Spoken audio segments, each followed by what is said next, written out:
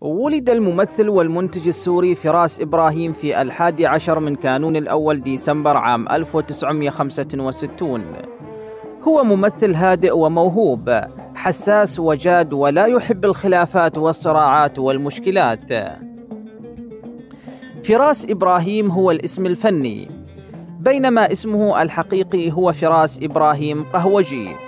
هو خريج قسم التمثيل والإخراج في المعهد العالي للفنون المسرحية بدمشق وعضو عامل في نقابة الفنانين في سوريا وعضو عامل في نقابة المهن التمثيلية في مصر وعضو في غرفتي التجارة والصناعة في دمشق وعضو في غرفة التجارة والصناعة في مصر وعضو في اتحاد منتجي البحر الأبيض المتوسط.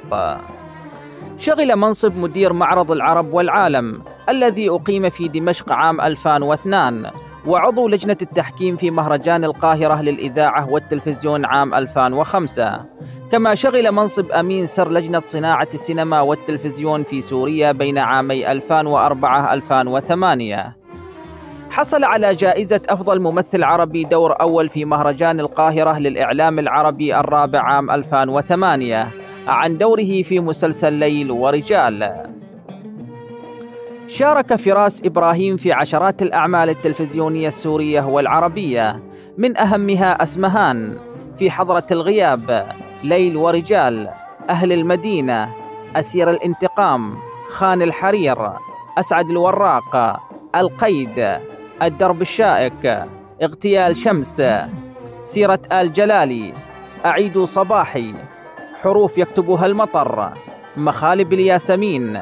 حمام القيشاني أبو كامل الحلم البرتقالي صهيل الألم شبكة العنكبوت شجرة النارنج العروس أوراق الزمن المر خط النهاية وإلى لقاء آخر وردة لخريف العمر رائحة الروح البارعون بين الغيوم. كما شارك فراس إبراهيم في بطولة مسرحية أرزة لبنان مع المسرح المتجول المصري كما شارك في بطولة مسرحية مفاصل صخرة مع المسرح القومي السوري. لديه مشاركات عديدة في عدة إذاعات مثل إذاعة الشرق الأوسط وصوت العرب في مصر وإذاعة دمشق.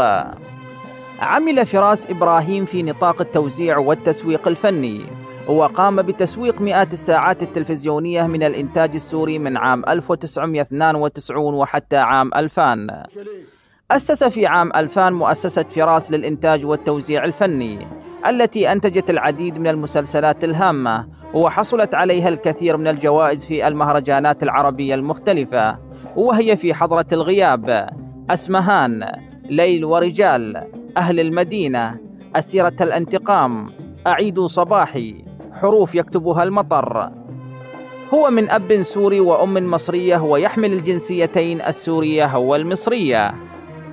وفي الختام لكم مني أطيب الأمنيات والسلام عليكم ورحمة الله تعالى وبركاته.